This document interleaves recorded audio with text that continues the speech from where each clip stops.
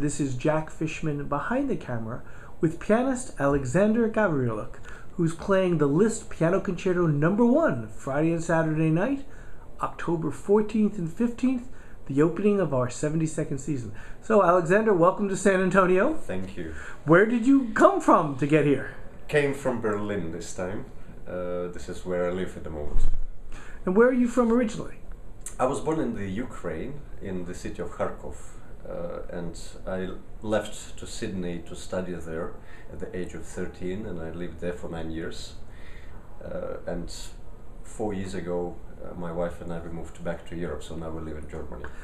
At age 13, now, did you move with your family to I Sydney? moved with uh, a group of students and a few guardians. Oh, that sounds difficult to do. Was that tough as a, for a 13 year old? Certainly tough. Yes, yes. Well, it was a good life learning experience. And what made you select Sydney? Was there a special school? Or? There was a, a school at first, uh, St Andrew's Cathedral School, and afterwards there was the Institute uh, of Music where I studied, uh, who offered the scholarship. Uh, and so it was a wonderful opportunity to move uh, to Sydney, which which I did.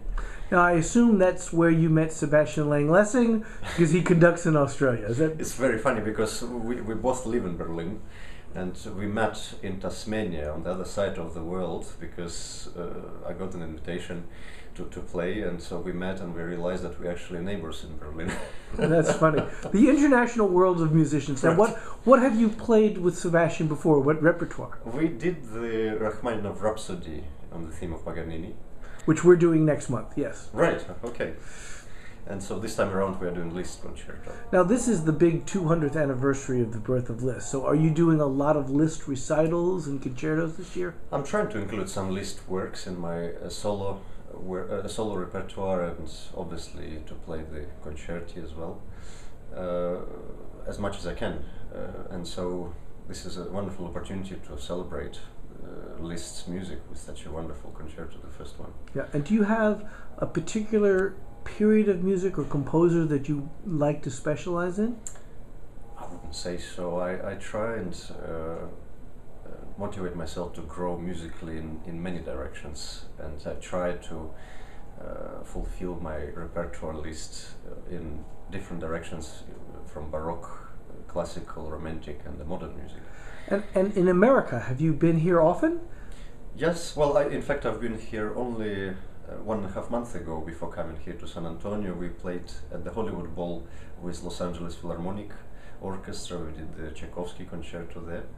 And before then, I was at the, at the Chautauqua Institution in New York uh, Yeah. as well for concerts. Now, I know the Hollywood Bowl very well, having lived in California. It's a pretty intimidating place. That's a big stage and a big slope of people. What was it like to play out there? Well, the good thing is that w- one couldn't see very far because it was dark, so it wasn't as intimidating as it could have been seen the whole area And of course, you of know, the audience. it's got a very famous tradition, not only for classical music, where all the great stars have played there, but many, many popular stars have Right, played there. The. Beatles and everyone. I loved uh, the atmosphere there. I must say it was so friendly and so cozy, despite the sizes, and it felt very comfortable to perform there and share the music with the people. Well, I think you'll find the San Antonio audience is equally friendly, and uh, we look forward to hearing you play Friday and Saturday night the Liszt Piano Concerto Number One. Very excited. Thank you. Thank you.